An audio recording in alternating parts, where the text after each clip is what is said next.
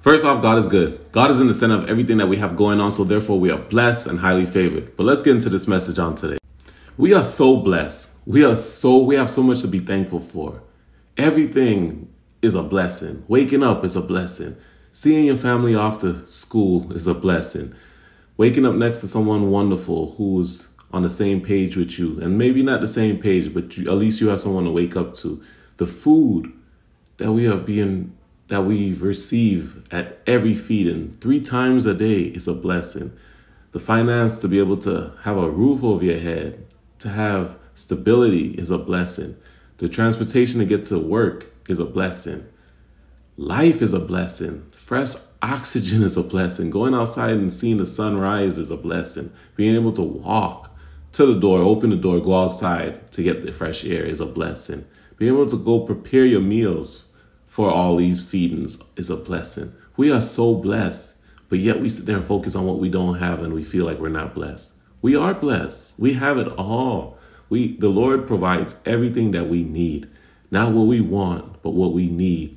And it gives us his power and will. We could follow him and seek him to get that guidance, that peace that we so much desire. It is not in things, it is not in stuff, it is not in working harder, it is not in trying to have multiple streams of income. It is not trying to change our partner every time that is not working out our way.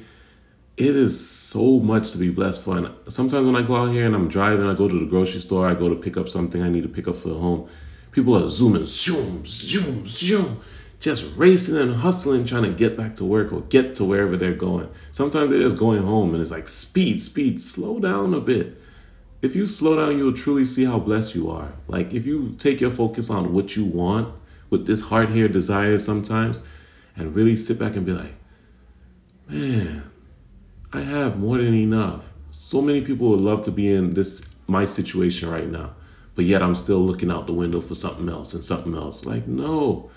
Focus on what the Lord has blessed you with and understand that you are truly blessed from the bottom of my heart. I'm telling you, because I speak on a lot of stuff that I went through, like similar situations, like moving into this home and then looking across the street and like, ooh, I wish mine was in that color, or my grass looked like that, or my lawn was shaped like that, or I had that type of vehicle, or all these different things. And that was just stealing my joy, stealing my happiness, stealing my peace.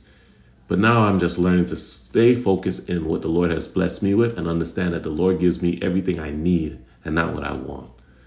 That is wonderful. So if you were blessed by this message on today, hope you share it and just continue to be kind to people because you never know what people are going through. Have a blessed day. See you next time.